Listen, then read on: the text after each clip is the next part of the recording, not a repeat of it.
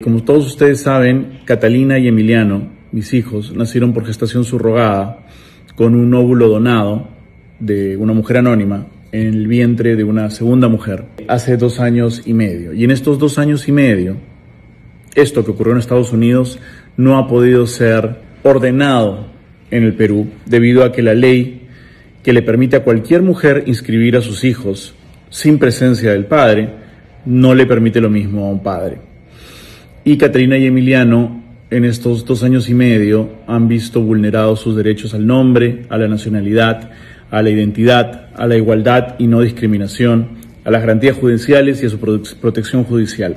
Hemos peleado dos años y medio.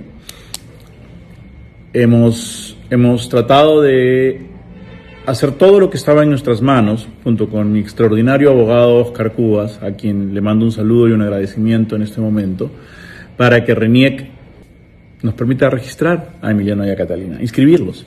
Tratamos de hacerlo, nos hicieron observaciones, solucionamos las observaciones, unos meses después nos dijeron que no, hicimos una apelación, finalmente la apelación fue negada.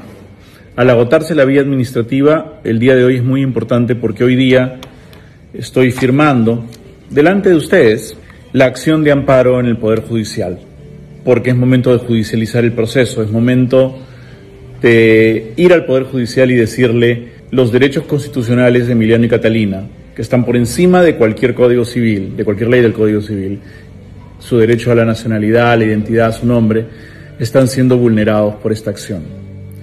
Así es que hoy, 23, 24 de diciembre, estoy firmando la acción de amparo que será entregada la próxima semana por vía digital al Poder Judicial. Se nos viene un periodo complicado con este tema y esperemos que yo sé que todo va a salir bien.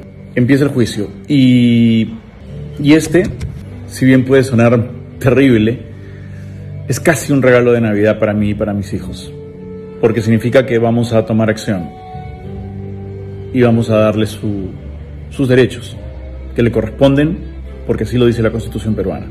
La Constitución peruana lo dice. Y esperemos que pronto podamos celebrar que Caterina y Emiliano son ciudadanos peruanos. Vamos.